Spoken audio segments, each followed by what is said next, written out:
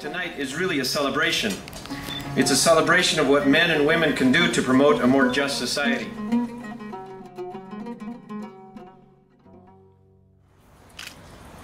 And when we get one law passed, like the nine we got passed this week alone, we help millions. This is what Western Center does so well. It turns those unsolvable problems into solutions.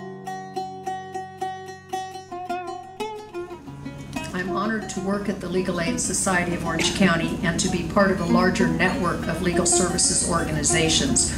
We could not do our job without the Western Center on Law and Poverty.